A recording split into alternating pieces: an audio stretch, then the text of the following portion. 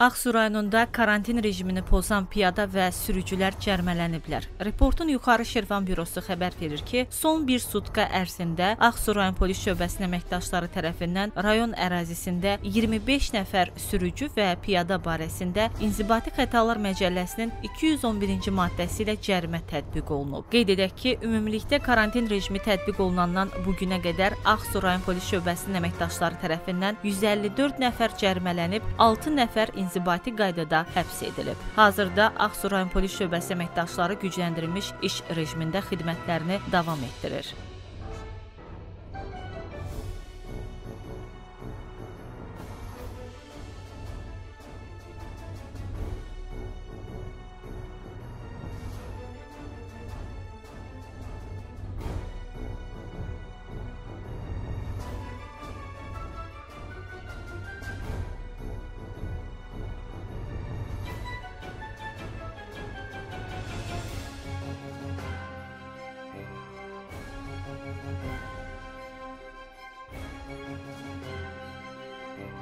thank you